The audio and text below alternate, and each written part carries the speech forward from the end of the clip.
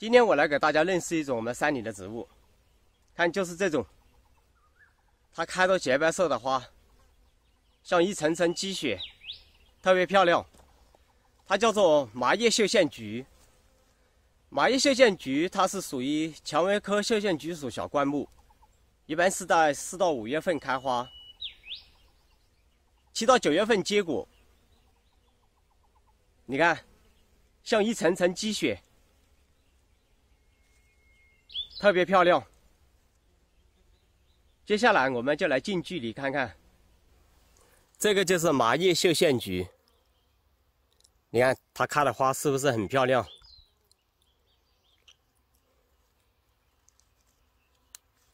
这种就是它的叶片，它的叶片呈菱形或者长圆形。表面无毛，它的茎秆也无毛。这个麻叶绣线菊，它在我国大部分地区都有分布，一般都是喜欢生长在温暖、光照充足的地方。看它开的花特别漂亮，像一层层积雪。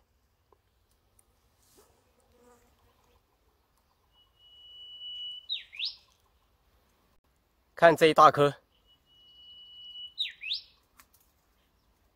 开满了洁白色的花，特别漂亮。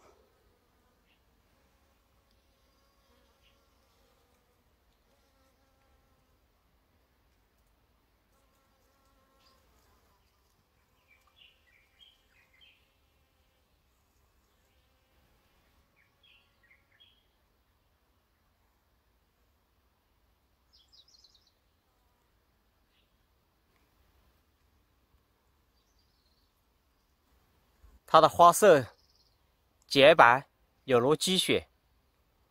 它的花序密集，花色艳丽。它的花朵环茂。它盛开的时候，这个枝条全部被这些花朵覆盖了，就像铺了一层积雪一样，特别漂亮。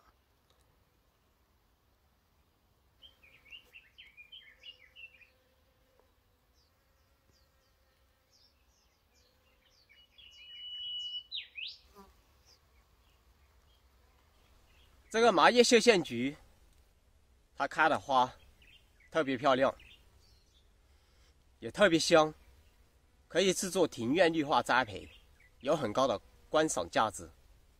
它的花还可以制作成花束、花篮、花瓶，也特别美。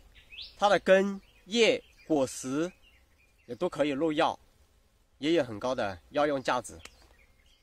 这个可以扦插成活。一般都是在春季，用它的枝条可以扦插成活，可以做绿化栽培。好了，这期关于麻叶绣线菊的视频就到这里，谢谢大家。